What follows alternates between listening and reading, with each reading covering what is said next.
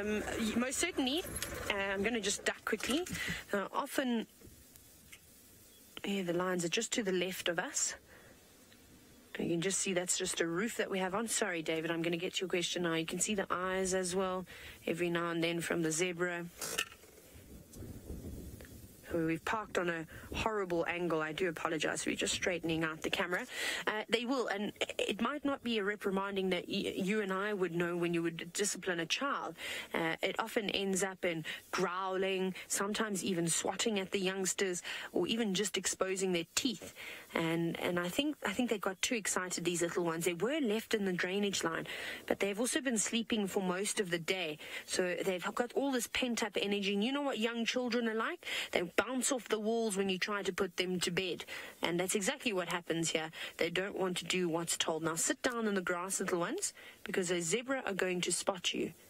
Now, it's not over just yet for these lionesses. They could still use the wind and, of course, the rumbling of the thunder and the pitch black of the night to move around in a better position for uh, an opportunity to hunt.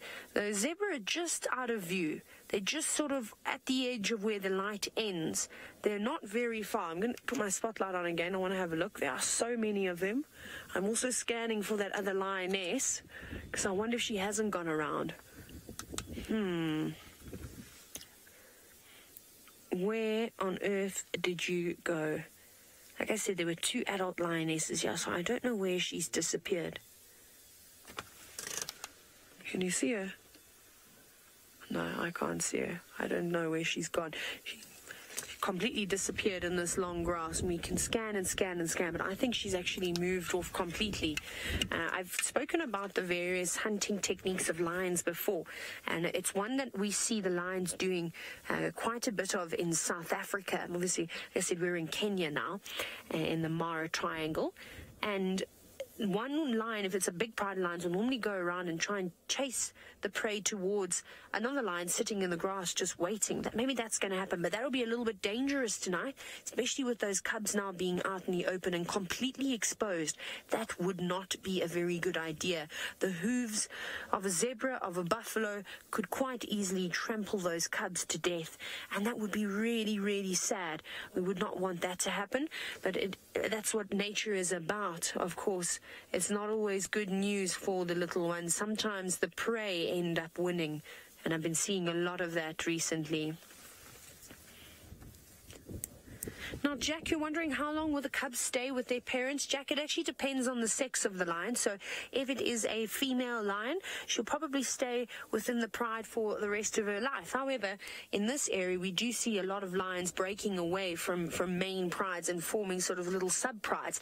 Uh, if you're a boy, if you're a male lion, then typically you, when you get to the ages of about two two and a half years old, that big resident males are going to not tolerate you like they did when you were younger, and then the process of being pushed out starts. So anywhere from about two to three years old, uh, they'll start going off and searching. Well, it's actually it's very tough life for young males once they leave uh, their pride. Um, they aren't big enough and strong enough to take on the other males in the area. So they sort of have to live in between the territories of the big of the big males, and they become nomadic. It's a very tough life for them. A lot of males don't make it to adulthood.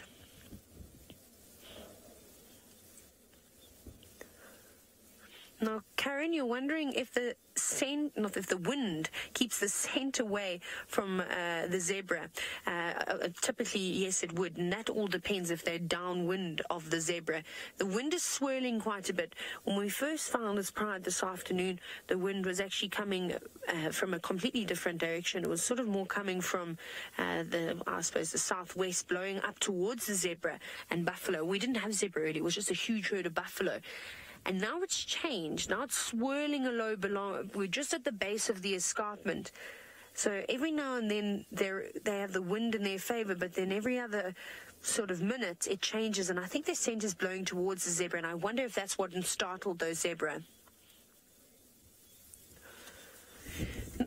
Now, Kate you're wondering how far can a lion see in the dark? It's a difficult one to answer. I've never looked through a lion's eyes before, but their eyesight is exceptionally good, and it and it really is spectacular at, at night. You can imagine a zebra, a wildebeest, a uh, buffalo can't really see very well at night. They have better eyesight during the day, but the predators become alive at night. So the way that their eyes are designed, um, it allows them to take in light, and that's why you see that sort of white stripe underneath the lion's eye that help reflects light back in to their eyes so that they can utilize it and actually see a little bit better.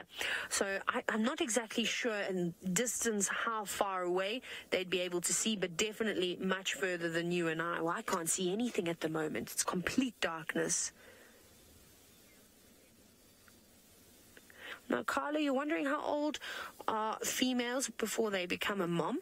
Well, I, I would say that a lioness will come into estrus for the first time maybe around between two and a half and three and a half years old. But just like you and I are completely different, the same thing applies to animals out here. Some might mature a little bit quicker than others. Some might take a little bit longer, and they might not even breed in their within their first estrus cycle. But she's up again. She's scanning around. Look how tall the grass is. So it's actually going, should be quite easy for her tonight to hunt because she's got so many things on her side. She's got the wind. We'll just quickly recap in case there are any new viewers who have just joined us. So she's got the wind. She's got the darkness. There's clouds. And yesterday was full moon. So she's lucky about that because if the moon was out, oh, they would have, the zebra and the wildebeest and the buffalo would have spotted her from miles away and and then she's got the rumbling of the thunder, and then of course this tall grass is fantastic. Look how they completely disappear in it. Just see their ears. Now, a common misconception and that a lot of people will sort of hear and they hear that lions and most of the predators only hunt at night. And Leah you're wondering exactly that. Lions are opportunistic feeders so they will hunt whenever they want to hunt Sometimes a warthog may stumble across a pride of sleeping lions in the long grass, or the same thing might happen with a wildebeest or a zebra. They're not going to say no to it. They will most certainly charge after it. So they take any opportunities that they can get. But it looks like everything has calmed down for the moment. But I suspect we'll sit here for just a little bit longer and see if things develop. I am going to say goodbye to all of you who are watching this live broadcast. But um, keep a lookout for that notification because you never know what might happen next.